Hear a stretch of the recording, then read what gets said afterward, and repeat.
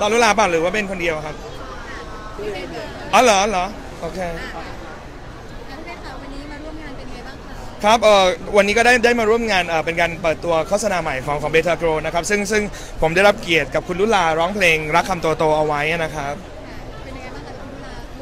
ครับนี่ก็เป็นเป็นการร่วมงานครั้งแรกกับกับคุณลุลา ก็อย่าบอกว่ารู้จักกับลุลามา 10 ปีแล้วอะแล้วก็เจอกันตามงานตลอดทักทายกันเอ๊ะสวัสดีสวัสดีแต่ว่าไม่เคยได้ได้ไม่เคยได้ร้องเพลงด้วยกันเลย แล้วก็ครั้งนี้เป็นเป็นครั้งแรกที่ที่ได้ร้องเพลงก็ต้องขอบคุณขอบคุณลุลาด้วยที่ที่ให้เกียรติเรา แล้วก็แน่นอนเออขอบคุณเบทาโกรที่ที่เชิญเรารวมถึงขอบคุณเจ้าของเพลงคนเขียนนั่นก็คือคุณฟองเบียร์นะครับ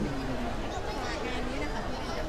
ครับก็ก็อยากจะฝากเพลงรักคำตัวโตเอาไว้ให้ให้กับทุก ๆ ท่านได้ ได้เอาไว้เป็นสื่อกลางในการมอบความรักให้กับคนที่เรารักนะครับอ่าล่าสุดลงไอจีเห็นบอกว่าซื้อรถเล็กๆค่ะพี่เบนไม่ได้ผ่านอะไรยังไงเอ่ยอ๋อโอ้ว้าวเออคือจริงๆจริงๆมันมันมันมันมันเป็นเรื่องเรื่องเรื่องเป็นความใฝ่ฝันของเราตั้งแต่ตั้งแต่ตั้งแต่เริ่มเข้ามาทำงานว่าว่าเราเราชอบรถรุ่นนี้จังเลยอะแล้วแล้วเราก็แล้วเราก็ไม่เคยมีโอกาสได้ซื้อแล้วก็เอ่อทุกครั้งที่เวลารถคัน นี้รุ่นเนี้ยมันผ่านไปแล้วเรารู้สึกว่า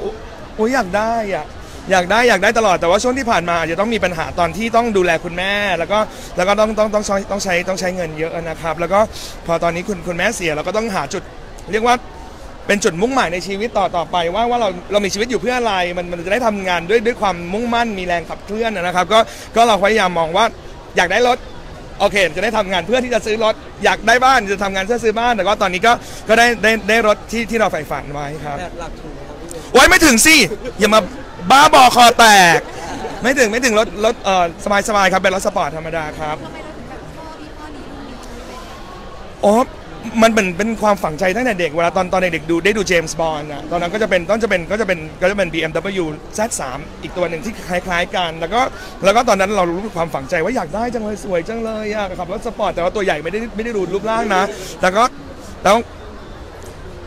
เราก็ตอนแรกเราก็คิดว่าความจำเป็นมันมันอยู่ตรงไหน เราก็ไม่เคยซื้อมันมาตลอดเราทำงานมาสิบกว่าปีนะครับ แต่ว่าพอวันหนึ่งที่เรารู้สึกว่ามันควรจะต้องหาจุดมุ่งหมายในการใช้ชีวิตใหม่อะ เราก็เลยคิดเบนเข็มไปทางว่าอะก็ไปทางวัตถุแล้วกันครับ เก็บตังค์ที่นานไหมพี่เบนเงินสดนะคะเอาพูดสวยๆมานานประมาณกี่ปีคะพี่ที่แบบเก็บเอาไม่ไม่ครับก็ก็ก็เอ่อตามตามระยะเวลาจริง ๆ แล้ว ซื้อผ่อนนะคะ ซื้อผ่อนค่ะ กู้ผ่านนี้ถือว่าโชคดีมากแล้วค่ะไฟแนนซ์ผ่านเนี่ยครับหลายคนก็มีกระแสแบบเมาส์ว่าแบบเอ้ยหรือว่าเป็นแม่คุณลูกซื้อให้แฟนด้วยคันนี้ โอ๊ยใช้ด้วยกันใช้ด้วยกันใช้ด้วยกันใช้ด้วยกัน มันนั่งได้สองคนนะ นั่งคนเดียวก็ผิด นั่งหลายคนก็ไม่ได้ ก็ต้องนั่งสองคน เพราะว่าครอบครัวเรามีสองคนครับครับแล้วอันนี้ก็คือซื้อให้ตัวเองเป็นรางวัลก็ซื้อให้ก็ก่อนที่เราจะทำอะไรเราก็จะปรึกษาหลาย ๆ ด้าน ทั้งทั้งแฟนเรารวมถึงเอ่อทั้งเอ่อคนในครอบครัวรวมถึงผู้จัดการด้วยนะครับ ก็ก็ก็เราคิดว่ามันมันถ้าทำแล้วแล้วมันไม่ไม่ลำบาก แล้วก็มีมีมีแรงที่จะทำได้เราก็เราก็อยากทำในสิ่งที่เรารัก ครับพี่เบนครับเรื่องสีนี้เราแบบชอบสีนี้ด้วยหรือเปล่าโอ้ใช่ใช่ชอบสีส้มแล้วก็มันมันเออมันเลิศอะเออเราเห็นครั้งแรกแล้วว่าฉันจะเอาฉันจะเอาเพราะว่าเพราะว่าถ้าหลาย ๆ คนได้ตามก่อนหน้านี้ผมผมมีโอกาสได้ซื้อรถกระบะก็จะเป็นสีส้มเหมือนกันก็ตัวเองชอบสีส้มครับพี่เขาช่วยออกตังค์ด้วยไหมคะพี่เบนโอ้ยช่วยมานั่งก็เป็นเกียรติเป็นสีแก่วงตระกูลพี่แล้วค่ะนะก็ชาตินี้ได้ผัวก็โชคดีแล้วนะ มานั่งเถอะมีคนอยากเอาว่านั่งคออะค่ะโอ้ยหนูค่ะ เอาจริงๆก็ตอบไม่ได้เพราะว่าซื้อมาก็ยังจอดอยู่ในลานจอดรถอยู่เลยครับได้ขับบ่อยไหมคะพี่ได้ได้ได้ขับอยู่2ครั้งแล้วครับเอากลับบ้านชนบุรีครับครับคุณคุณผู้ชมไม่ใช่รถแพงนะคะ นะ แต่มันอันอาจจะไม่ใช่รถที่จำเป็นจะต้องใช้แต่ว่าสวยดีฮะเจ็ดชั่วโคตรครับนะ ผ่อนจนรถเป็นซากแล้วก็ยังผ่อนไม่หมดนะ เอาเป็นว่าอย่างนี้แล้วกัน อืม เรื่องถามเรื่องความรักหน่อยตอนนี้เป็นไงบ้าง เพราะความรักดีใช้คำพูดว่าชีวิตดีได้ครับ แต่ว่าถามว่าผมก็ไม่ได้เป็นคนที่มีชีวิตพิเศษกว่ากว่าคู่รักทั่ว ๆ ไปตรงไหนนะครับ ก็ก็มีปัญหามีมีมีรักมีโกรธมีอะไรเหมือนทุกคู่อะครับ แต่แค่แต่แค่รู้สึกว่าตอนนี้ทางด้านการการงานเอ่อชีวิต อะไรแบบเนี้ยมันมันมันอยู่ในมันค่อนข้างลงตัว แล้วเราก็ไม่ต้องทำงานหนักเกินไป เพราะว่าช่วงก่อนหน้านี้ตอนที่คุณแม่ป่วยจะต้องใช้ใช้เงินเยอะเราก็จะต้องทำงาน 7 วันแล้วก็ไม่ได้พักเลยนะครับตอนนี้ก็พอพอพอพอมันตัดปัญหาเรื่องเรื่องค่าใช้จ่ายเรื่องโรงพยาบาลไปเนี่ยเราก็ได้หยุดอาทิตย์ละสองวัน ก็ก็ถือว่าได้มีเวลากับครอบครัวมากขึ้นครับมมีเพลงให้แบบจะแต่งงานนั้นหรือว่าอุ้ยพอก่อนลูกนะเอาให้เขาประกาศว่าจดทะเบียนสมรสกันได้ถูกต้องก่อนนะแล้วค่อยมาถามใหม่คิดไว้ไหมพี่เบน